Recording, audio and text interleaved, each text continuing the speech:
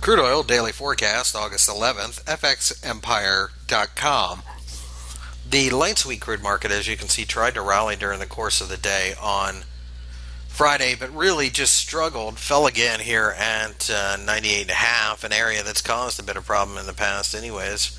So uh, the pullback formed a shooting star, and the shooting star, of course, uh, signifies that the market is starting to experience pretty significant selling pressure again. The biggest problem we have, though, is that the 96.5 level has uh, caused enough support that really it's difficult to sell into this, and we most certainly see a lot of support down at 95.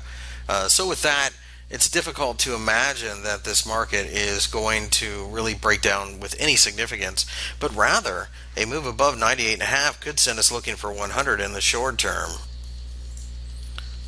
Looking at the uh, Brent markets, you can see that we did, in fact, uh, struggle a bit after initially surging quite high, 107.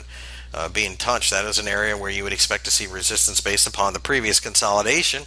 And then we pulled back and closed all the way down at the 104.76 level. Pretty nasty turnaround.